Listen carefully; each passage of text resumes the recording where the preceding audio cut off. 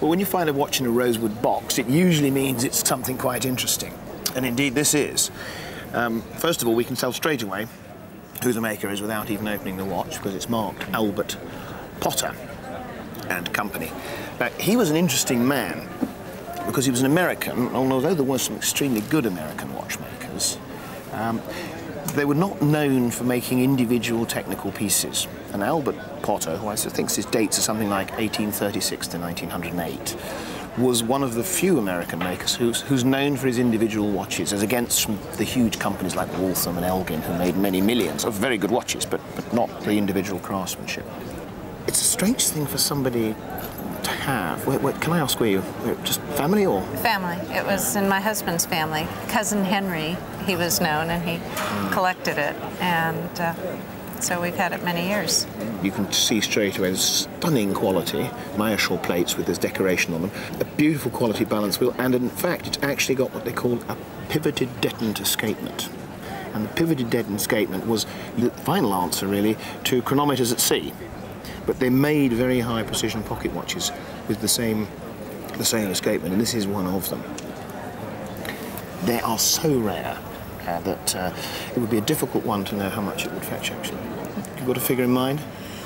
Well, it was valued about 11 years ago for um, 15,000 mm -hmm. pounds. It hasn't changed, surprisingly, that much. I would say now it should definitely be 20. Wonderful. Well, I'm very lucky because I rescued them from a dustbin. You didn't? I did, yes. I studied at an art school, and when I was working um, at a studio that did um, painting for costumes and films, they were throwing them out. So I said, May I have them, please? And I've had them for 40 odd years. This one, for instance, this is by Roger Furse, who was a, a superb draftsman. This is um, for Lady Hadley and Woman Hater, Edith Evans. W wonderful. It's, it, it's for me, it's it's a drawing in itself with with a watercolor on top. Um, it's obviously meant to be exactly how they were going to clothe her and all these what she had to wear underneath and wearing a sable and there's her sable wonderful it even looks like her and it's only meant to be for the costume isn't it mm. now this is another well-known um, costume designer called Berkeley Sutcliffe. Now, Moira Lister, this is another one. We don't know exactly what this was going to be. I think it was sweetest and lowest. I, I love the pinched-in waist. This wonderful. I think this this fashion ought to come back, you? It's, it's very much a fashion of the 40s, isn't it? Very much, very They're much. Sort of like fashion and um, beautifully executed. So that is very fragile. I'm going to just it's amazing they didn't sort of scrunch it up to throw it away. I'm glad they didn't. yes, so am I.